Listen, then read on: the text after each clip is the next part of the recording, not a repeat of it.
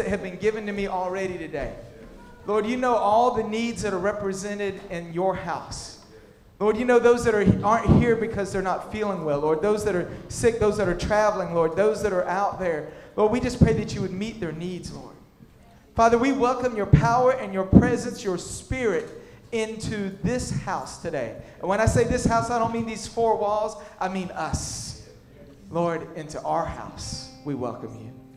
We welcome you to change, to mold, to shape, to direct who we are, what we do, and how we do it. Lord, we want to be forever changed because of you.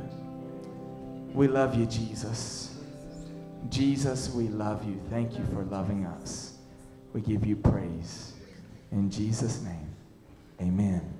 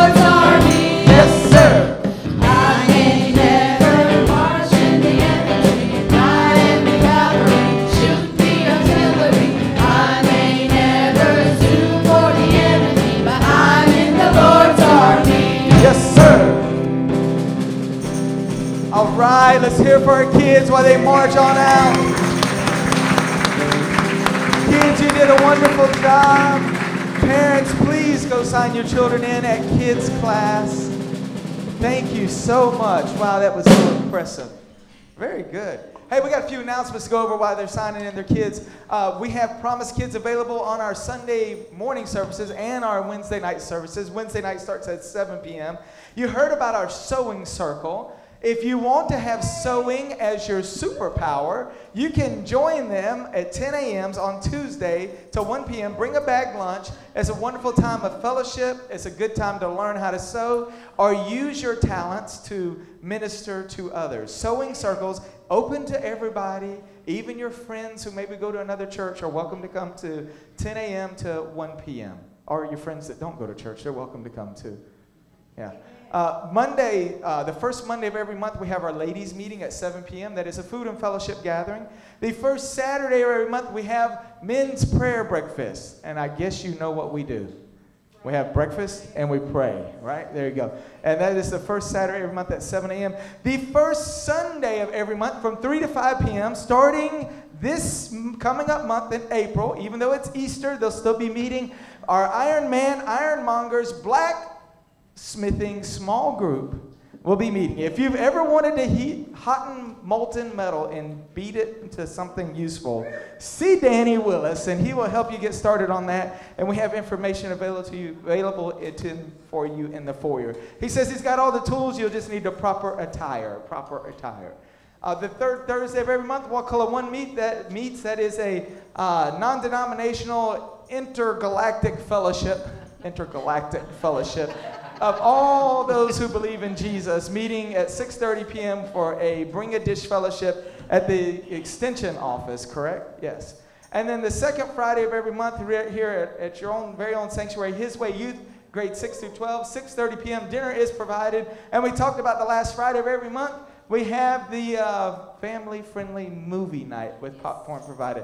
Then we have Man Up, Man Up Bible Study Group meeting every other Monday at 7 p.m. There's contact information in your bulletin there. Whew, lots of stuff going on in our church. Lots and lots of stuff going on. Amen. Fun Station event today for the youth. March 29th, River Baptism. We talked about it once already. We'll talk about it again. Followed by a Good Friday prayer service at 7 p.m. We'll get together and we will pray for God to move in a mighty way. And then Easter Day, we're going to, what, excuse me, Saturday, we're going to have a 11 to 2 Easter egg hunt right here in our sanctuary and in our building. So it's air conditioned Easter egg hunt. I love that idea, that concept. That is beautiful. Uh, and then we'll have Easter Day. We have communion and dinner on the ground. Bring a dish. We'll be having ham and turkey and all the fixings. We'll have the big tent set up in the back. It'll be a wonderful time to gather together. And then the following Sunday, we have Revival Railroad coming on April 12th. They'll be bringing the word and the music for us. Revival Railroad, April 12th.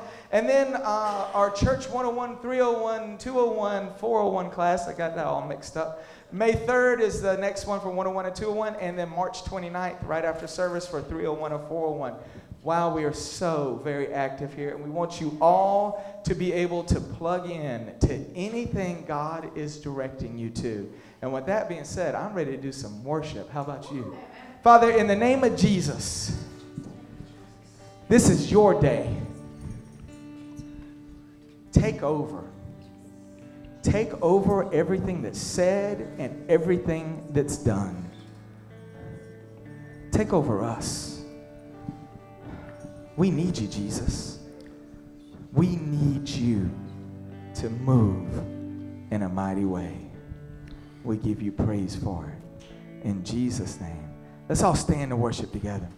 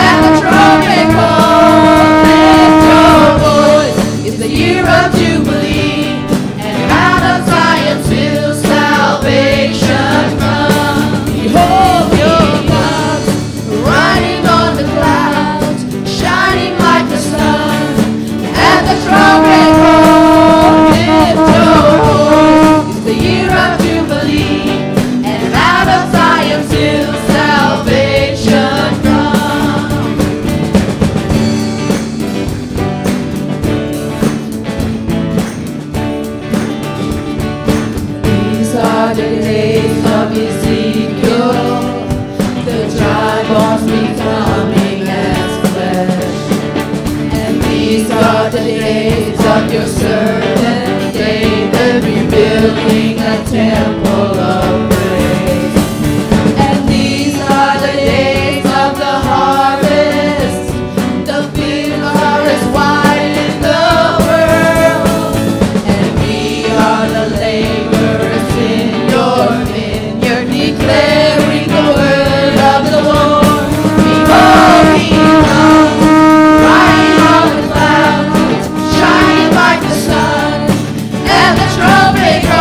worship his name. He's worthy.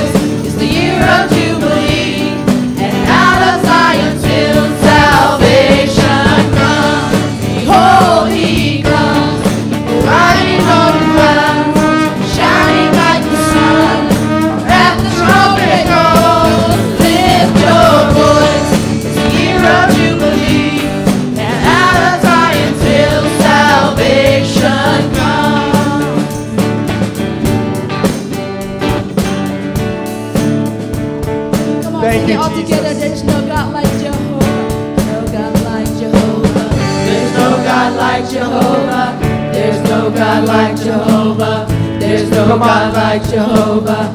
There's no God like Jehovah. Sing it like you mean it. There's no God like Jehovah. There's no God like Jehovah. There's no God like Jehovah.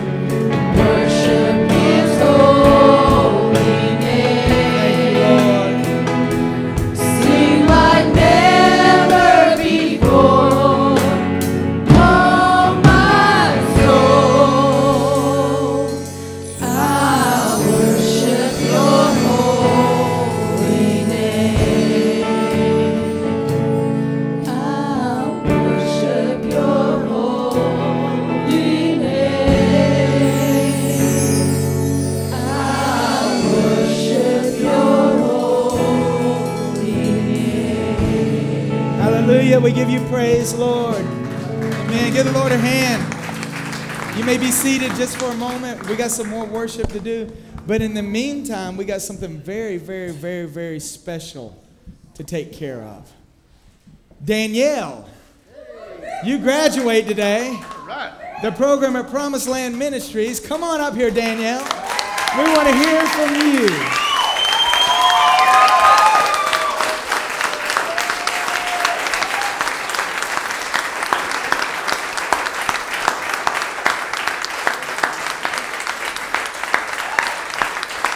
Now you got to look at the camera. And hold this right here. We'll pose for the camera just for a second. Say cheese. Okay, now we'll pose over here for everybody taking pictures. All right, we got a good thumbs up. Guess what? We want a speech. All right, I just want to start out by giving all the praise and glory to God because without Him, I wouldn't have made it. And um, when I first got here, I was as broken as you can be. I was at the bottom of the pit of despair. And I was so worried about trying to fix my life myself that I couldn't see the big picture. And I remember the first Sunday I was here, I ran to this altar. I remember it. And I knew in my heart that God was the answer. I just, it took um, some really eye opening things. Group was one of them, some good stuff. Um, and it just helped me to, to see what, what I needed to do. And I don't really know what to say except God is the key. He, when I had an eye waking up, eye awakening experience in group one night, and I went home that night. Boy, let me tell you, I was mad because they tell you stuff that you don't want to hear about yourself, but it's stuff that you need to hear, and it's stuff you really need to look at the big picture about.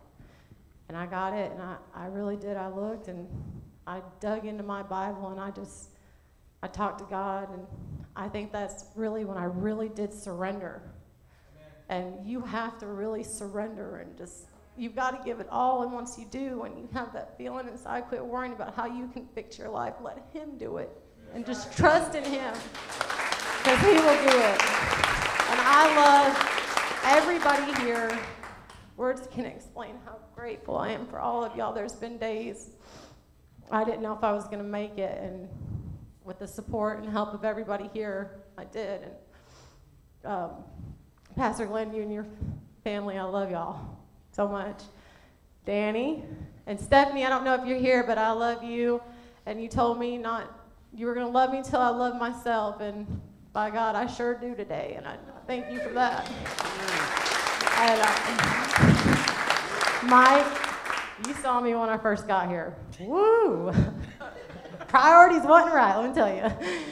And there's just something about you. I love you.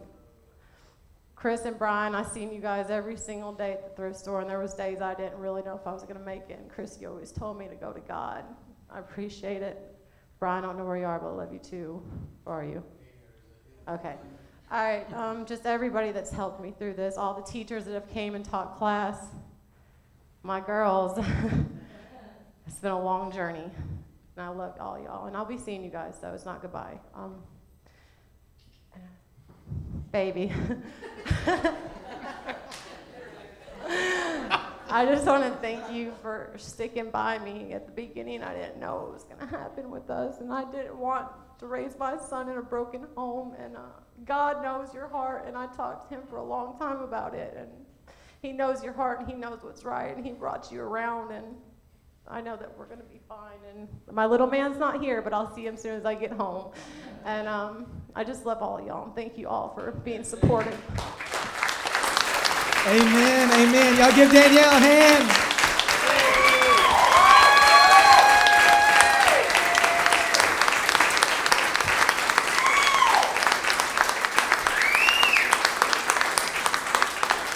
Listen, uh, I think Charlie deserves a hand too for sticking by her the whole time.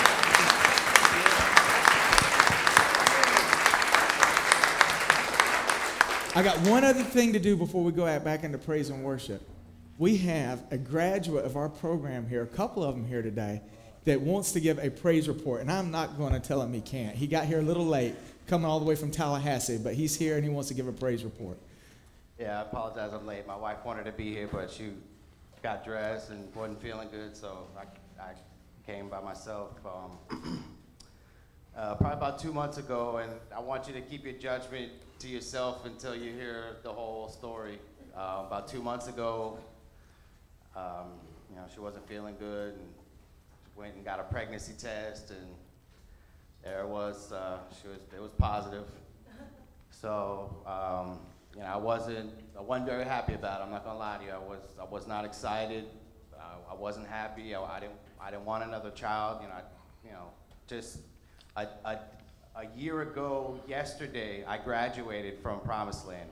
Amen. So I'm still trying to, you know, still getting on my feet. You know, I'm, you know, I'm working, she's working, and you know, I'm just thinking about money and you know how we're gonna do this type of thing. And I wasn't thinking about you know what God wanted. He's the, He created it, but I didn't I didn't want it. And uh, so you know, I talked talked to Dan a few times, uh, you know, telling me it's a blessing, and um, I didn't want to hear it. So uh, she wanted to have it, I didn't. So I finally talked her into you know you know going to get a procedure done, an abortion.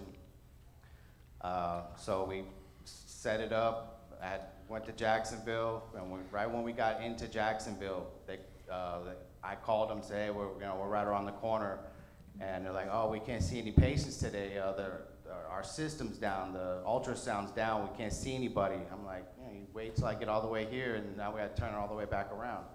So I turned around, went back Thank to Tallahassee, Jesus. and you know, Nikki's telling me, you know, it's a, you know, it's a, a sign from God. I'm telling you, Eddie, it's a sign from God. I still don't want to hear it.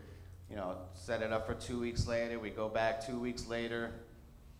You know, she's back there, and I'm waiting. About 45 minutes later, she comes out. She's like, Eddie, I need you to see this. She goes, you know, I'm 16 weeks pregnant.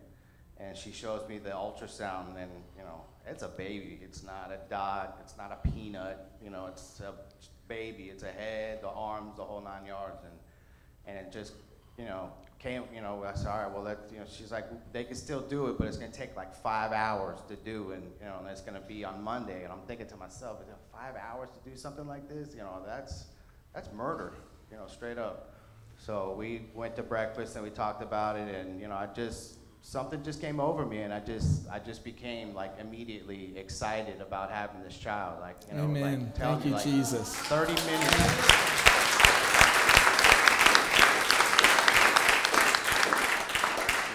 30 minutes before that, I was so dead set to having this done and, you know, not excited about it at all. And it's just so miraculous how, you know, how God can just overcome you and just make you feel at peace about something, you know, and, you know, it's, and it's true. It was, it's a sign from him. He, you know, he want, he has a plan for me. He has a plan for me and my wife.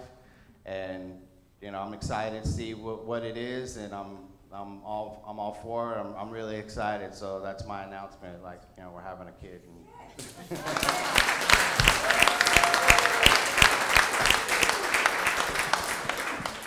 and, it's not like, you know, oh, well, we're having a baby. We're having a baby in nine months. It's now it's like, yeah, we're having a baby any minute. So it's, you know, right around the corner. I think she's about five months now. So we have like four months to go. So I thank God for his plan. Thank you. Amen. Thank you, Jesus. God has a way of intervening and making his will known to his people, even when we can be obstinate and stubborn and want our way over his way. And I thank God that he's able to do that. I praise Jesus that he's able to reach down, change our hearts and change our minds, and reach down to the very pit of who we are and change the very makeup of who we are, that we could be what he's created us to be. Give God some glory in this house. Amen. And let's worship. Let's stand and worship together. Thank you, Jesus.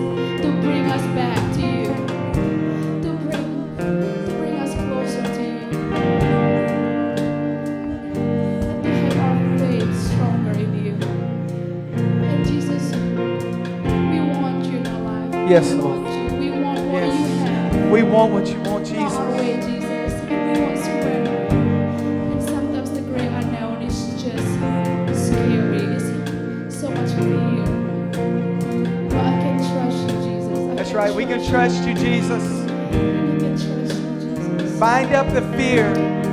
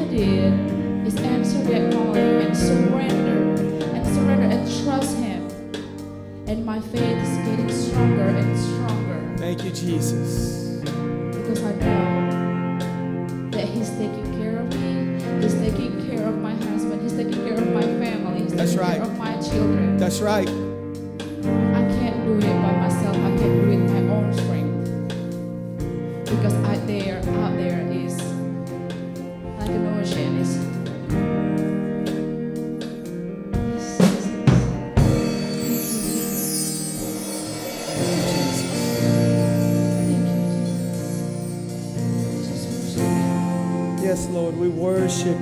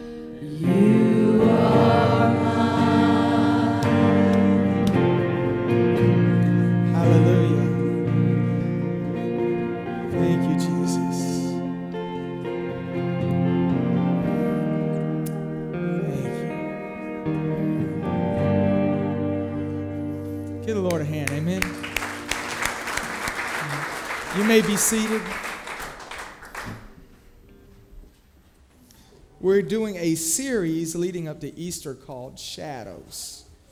Shadows. Last week we talked about being in the shadows of the garden. And that in the shadows of the garden, we were facing, Jesus faced, and we faced broken promises, broken religion, and a broken heart. That was a good sermon. It had three parts to it. Y'all know we like three part sermons. Today, I'm going to blow your mind. I've only got two parts. So I don't know how to close without that third part, but it'll be two points that we'll be going over today. And the title of this message is In the Shadows of Golgotha. Uh, Golgotha, uh, the place of the skull. In the opening passage, as we move into the scripture, uh, it's going to take us to the hill of Jerusalem called Golgotha, the place of the skull. Understand now, this is a place of brutality, it's a place of pain. It's a place of sorrow. It's a place of torture. And it's a place of death. Shane, if you could turn those dimmers up just a little bit, we won't be able to, everybody be able to read along. There you go. Thank you. Appreciate it. If you have your Bibles ready, we're going to uh, turn to Luke chapter 23. And we're going to start in verse 33. But I, I want to tell you that as I read over this passage of Scripture, this particular passage of Scripture is probably one of the most uncomfortable passages that you can read. In fact, they're pretty much my least favorite passages of Scripture and also my most loved passages of Scripture. Because when I read these, I'm faced with what my disobedience what my sin, what my life against God and His Word cost my Savior. We'll start in verse 33. It says, When they came to the place called the skull, there they crucified him, along with the criminals, one on his right, the other on his left. Jesus said, Father, forgive them for they do not know what they are doing. And they divided up his clothes by casting lots. And the people stood watching, and the rulers even sneered at him. They said, He saved others. Let him save himself if he is the Christ of God, the chosen one.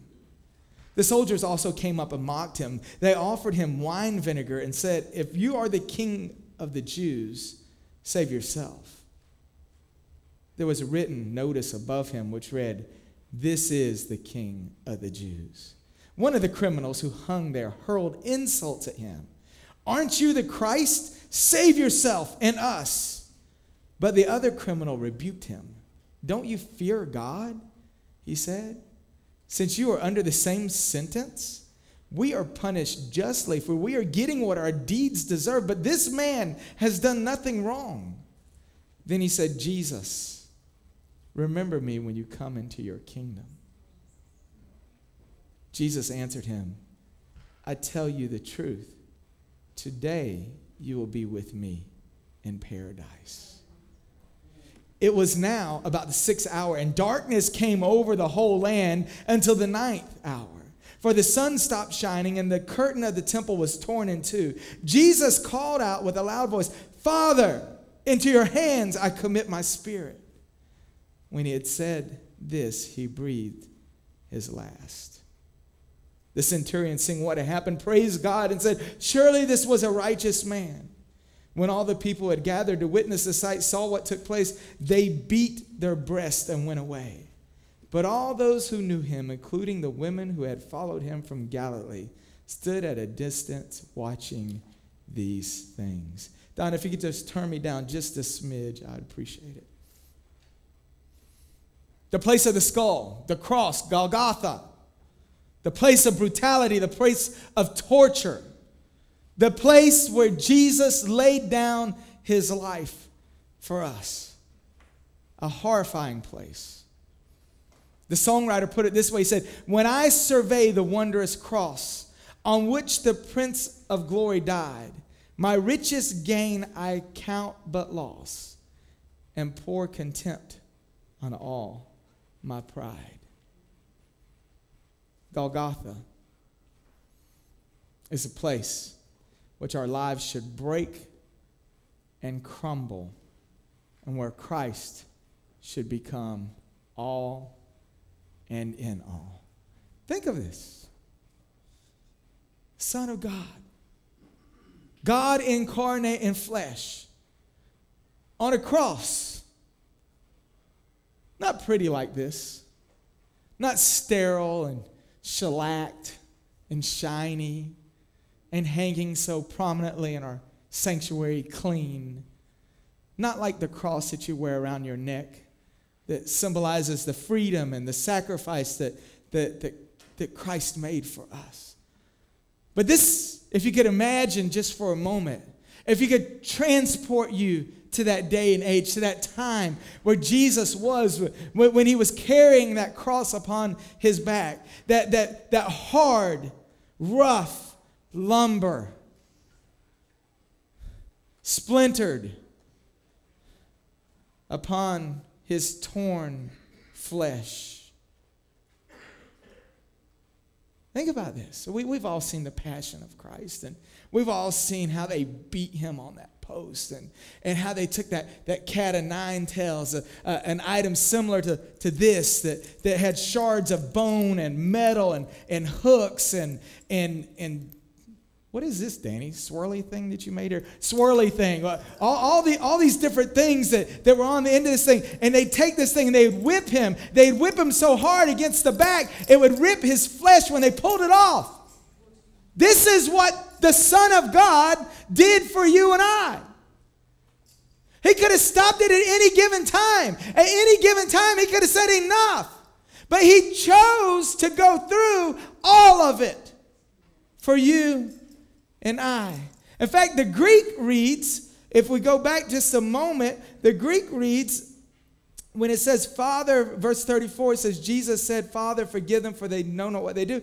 The Greek reads, after all this, Jesus said, Father, forgive them for they know not what. Think of this. After all what? After having his flesh ripped apart, after having his beard ripped out, after being mocked and spit on, after having a crown of thorns placed upon his head, shoved down and being mocked, the blood running down his face. Scripture tells us he wasn't even recognizable as a man. That's what Jesus did for us. It wasn't a sterile picture, it wasn't a pretty thing. It was not pretty at all, it was ugly.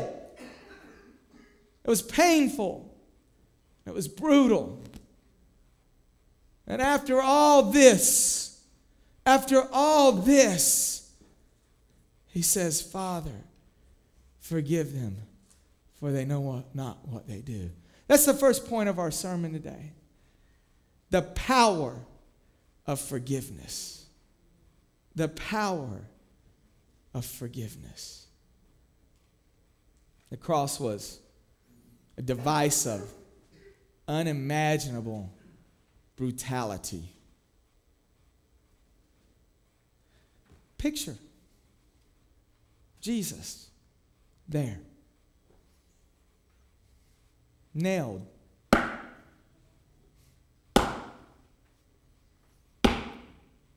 To that cross. Friends, we've got it so easy.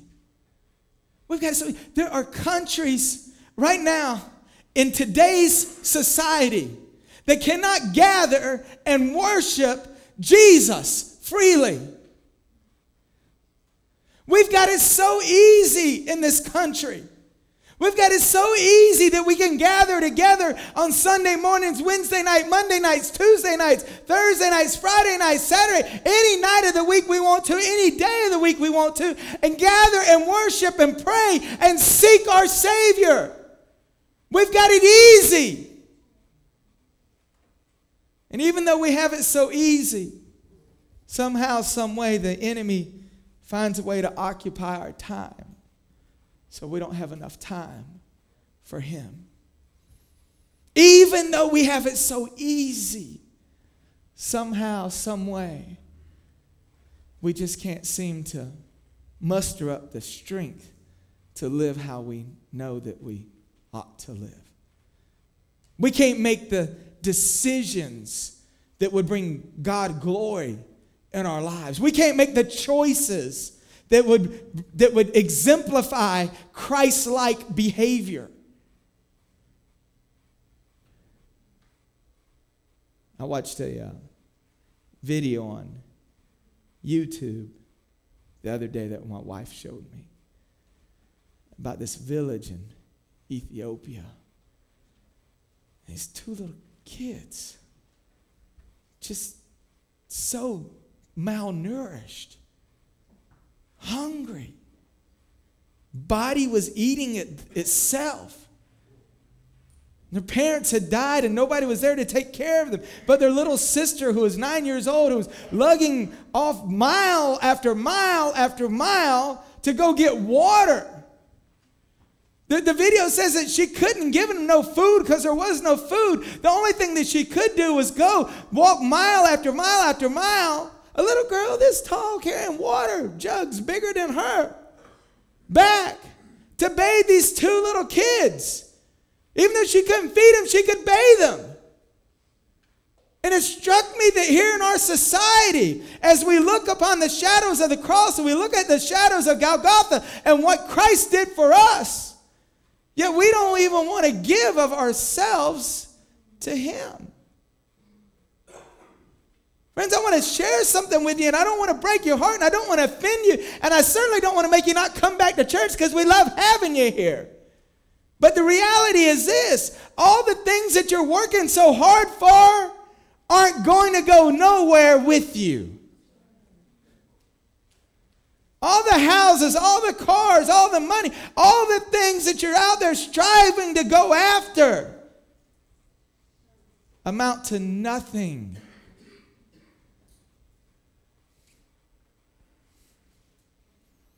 Friends, I want to tell you something. The only thing that we can do that will stand the test of time are the things that we do for Jesus. Now, God may have blessed you with a good job. Praise the Lord. Maybe He's got an opportunity for you to sow into ministries and missions and outreach projects. There's nothing wrong with money. It's the love of money that's the root of all evil, not money itself. A lot of people get that confused. Friends, only the things that we do for the glory of God will stand the test of time. Jesus on the cross, the crown of thorns down upon his head, the, the blood dried upon him. He's there. He's giving of himself. And even after all of this, he says, Father, forgive them, for they know not what they do. That is the power of forgiveness, my friends. That is the power of forgiveness. Do you know as he was there upon the cross, when he cried out, and said, My God, my God, why have thou forsaken me? When he cried that out upon the cross, all of our sins, my sin, your sin, the sin of all mankind, had come upon him, and he was at once separated from God because of sin. The power of forgiveness is this that everything I've ever done, everything I've ever thought about doing, everything that I don't know that I'm going to do, but I will do anyways, that is sin, God has forgiven. That is a powerful statement. It's a real statement of God's love. Now, friends, I want to tell you something. This is a dangerous message. Some will leave here and go, oh, so I can do what I want to do since God's forgiven me. I can live how I want to live. I can go get drunk. I can go get high. I can cheat whoever I want to. If you can do that, you don't know my Savior. Because I want to tell you something. When I do something wrong, the Holy Spirit convicts me in such a way that it makes me really, really sorry that I did it. So sorry I don't ever want to feel that way again. Amen? And then that comes repentance. Repentance means to do an about face. Some people think repentance is to come to the altar and say, I'm sorry, and go right back out there and do it all over again. That ain't repentance. Repentance is when you say, I'm sorry, you come in agreement with God that what you've done is wrong, and you go back the other direction and don't do it no more. Amen?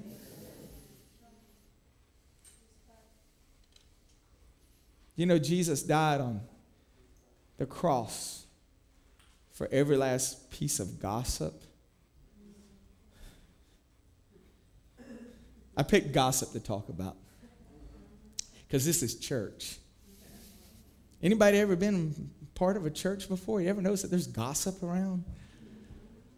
If y'all join this church, you got to sign a member covenant that says you ain't going to gossip. Okay? Because it don't go nowhere. It don't do nothing. All it does is tear apart the body of Christ. Look, if you was perfect, you would be Jesus. And until you're Jesus, you ain't got no right to judge nobody else. Amen.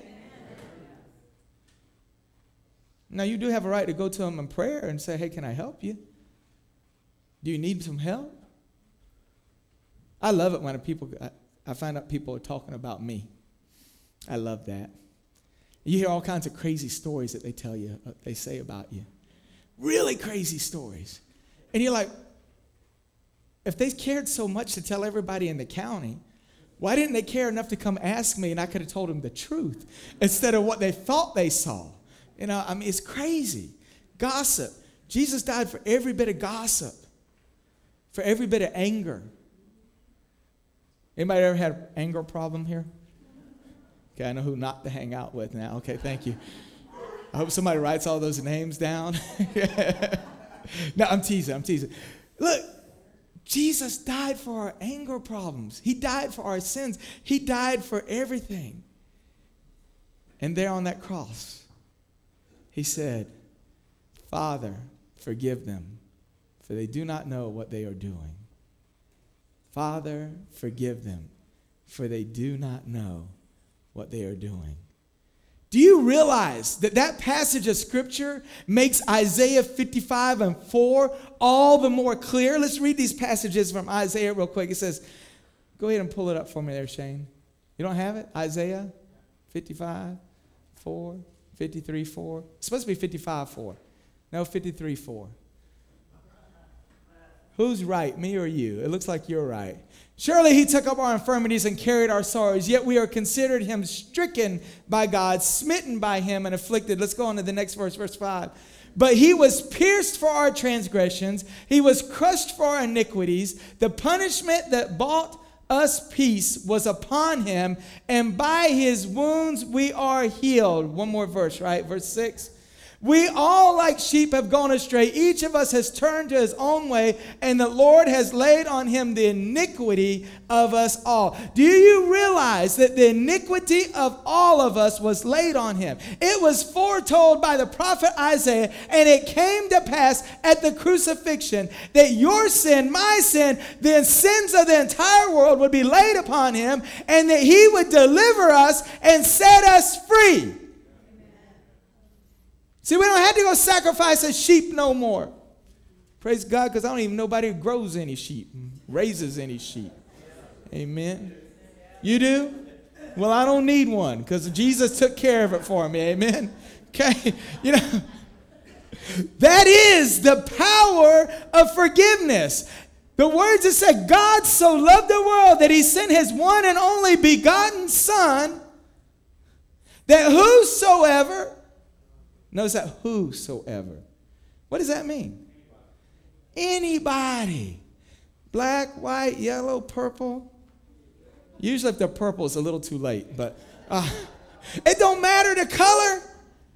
Anybody, whosoever would believe on him should not perish, but will have everlasting life. Friends, I, have got a God that loves me. I've got a God that cares about me. And He cares about you. He loves you. And He knew every last stinking mistake you'd make. And He paid the penalty for it. That's freedom. That's the power of forgiveness. The second point for those who are taking notes today and want to write down the points, the second point of today's sermon is the reality of forgiveness. We've talked about the power of forgiveness. Now we want to talk about the reality of forgiveness. We can find that very simply in verse 43 of the same passage we were on before in Luke.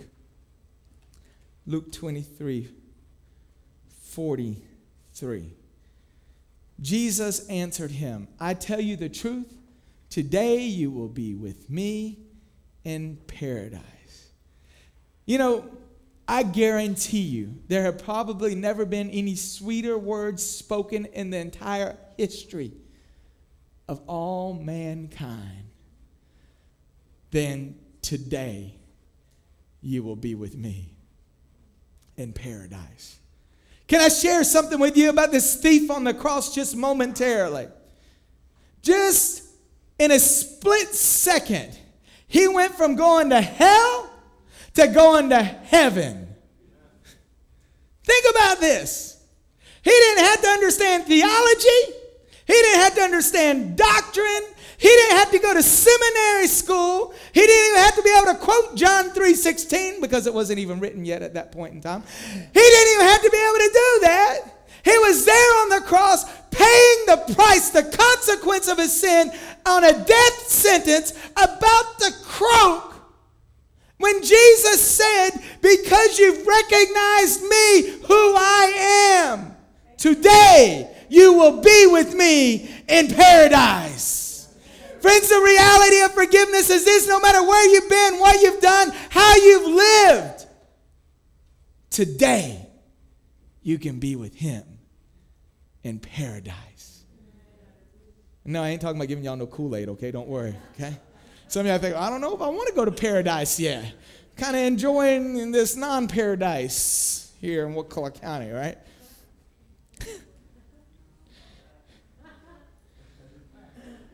I want you to think about this now.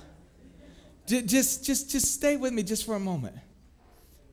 These two criminals evidently had to walk up the same hill that Jesus walked up. They had to carry the same crosses that Jesus had to carry.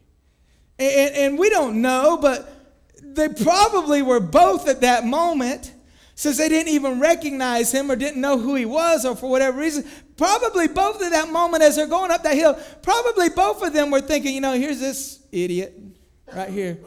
Thinks he's something special. Look, he's about to suffer the same thing we are. They probably both had these thoughts going on. And maybe they were even both vocal about it. But somehow, some way, maybe it was in the compassion that Jesus showed, that after all this, Jesus would say, Father, forgive them, for they know not what they do. Somehow, some way, one of them was able to recognize Jesus as the Son of God and make a commitment to be with Him. It says here, I don't, I don't think I have it plugged up there for you, but I'll read it to you anyways. It says, verse 40 says, But the other criminal rebuked him. Don't you fear God? He said since we, you are under the same sentence, we are punished justly, for we are getting what our deeds deserve. But this man has done nothing wrong. Then he said, Jesus, remember me when you come into your kingdom.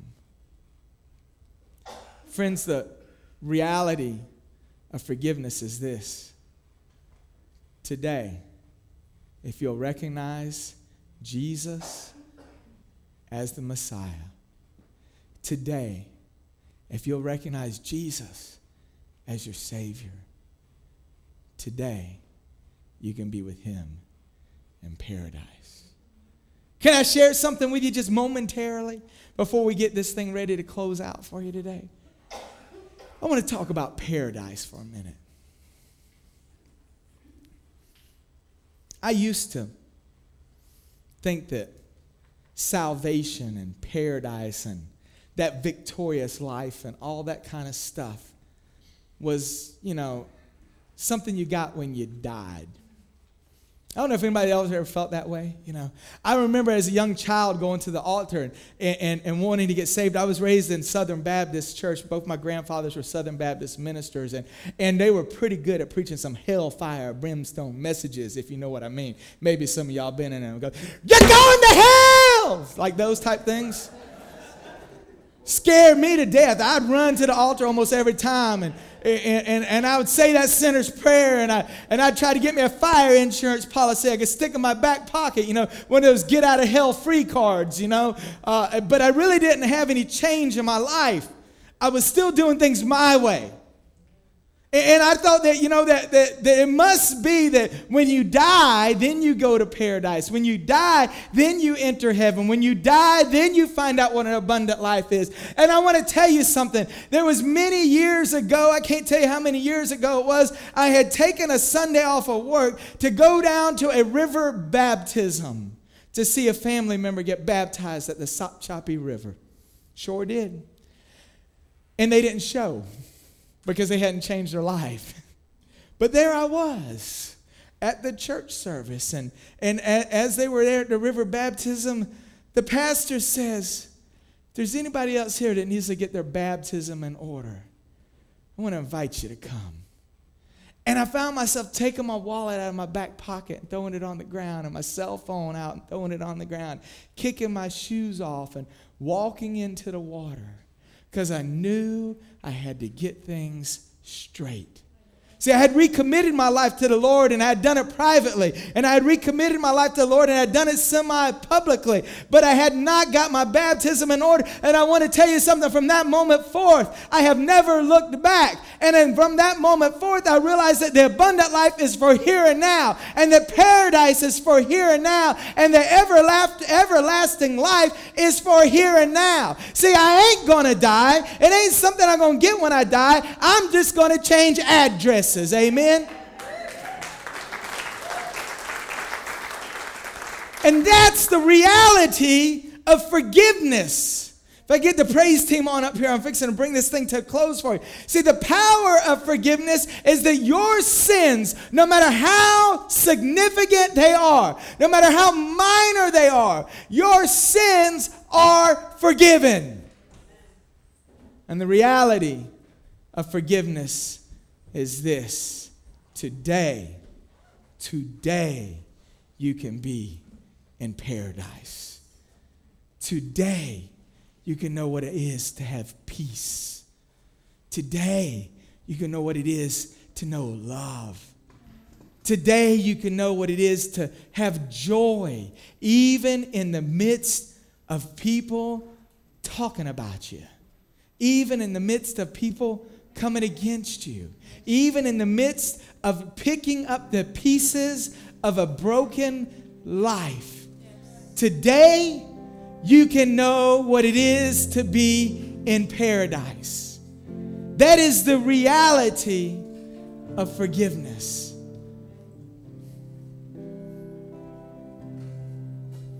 Jesus loves you. God knew every last mistake that every one of us would make. And because he knew, he made provision. And friends, I want to tell you something. If you think you're looking at a perfect man who gets it all right all the time, you are dead wrong. Just ask my wife, she'll tell you. Amen. And the greatest thing that I want to share with you is this you don't have to be perfect. All you have to do is love Him and be obedient and be able, when you get it wrong, to say, I'm sorry and try again. Amen. I'm going to close this thing a little bit different today. I want every head bowed, every eye closed. I'm going to give you a chance to come to the altar in just a minute. But, but while every head's bowed and every eye's closed, nobody looking around now. If you've never publicly accepted Christ as your Savior, I just want you to slip your hand up real quick. One, two, I got two, three, four. Come on, slip your hand up real quick. Put it back down. That's four people. They said they never publicly accepted Christ as their Savior. Friends, if, if, if you haven't got your baptism in order, maybe you've accepted Christ as your Savior, but you haven't got your baptism order, just want you to raise your hand up real quick and put it back down. Hands are going up all over the place. Okay, put them back down. If you today you're ready to know the power of forgiveness and the reality of forgiveness, I just want you to slip your hands up in the air. Very good, very good. That's good, that's good, that's good. Put them back down. Let's stand. Father, we just thank you so much, Lord, for all these that raised their hands. Lord, I thank you for those that are, that, that are saying they're ready to accept the power of forgiveness. Lord, they're ready to accept what you've done for them. Lord, I thank you for those that are ready to receive the reality of forgiveness. Lord, they're ready to be your children. They're ready to move forward in the relationship. They're ready to publicly say, I'm yours, Lord. Thank you, Jesus. Lord, just minister your grace right now. Just pour out your power here today, Lord God. In the shadows of the cross, the shadows of Golgotha, that place of brutality, we receive your love, Lord. We thank you for what you've done. Give you praise for it. I'm gonna get my altar team down here real quick. And, and listen, if you raise your hand, I just want you to find me or find an altar.